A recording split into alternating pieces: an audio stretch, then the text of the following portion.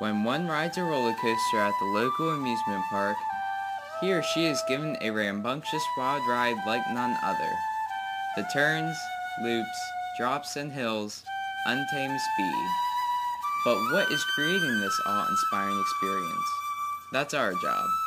To delve you into the physics of those roller coasters, the physics behind the fun.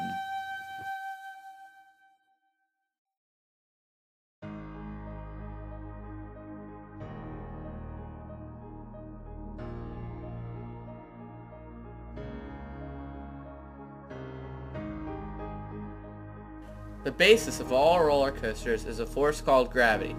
Gravity is what creates the speed at the bottom of a drop, what decreases the speed at the top of a hill, and keeps the train moving.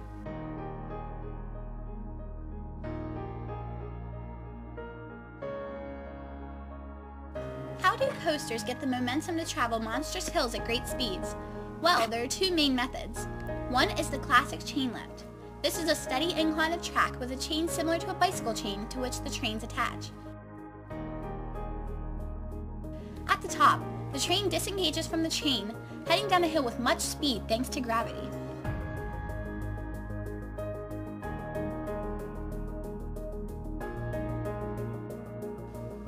The other method is a launch. Launches can result from energized magnets, the moving of hydraulic fluid, or the escaping of compressed air.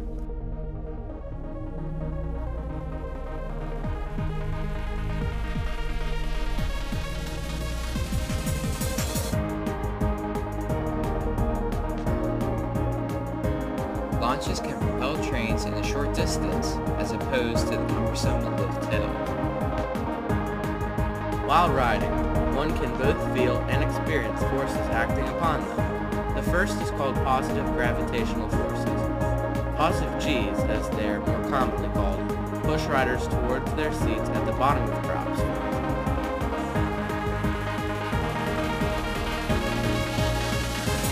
Negative G's repel riders from their seats at the top of hills.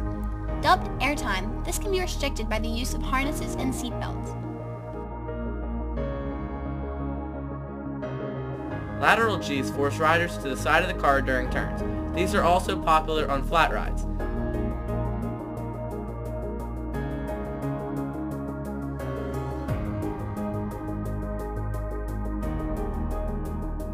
Seen here, the cars get more and more angled as the speed increases because of lateral G's.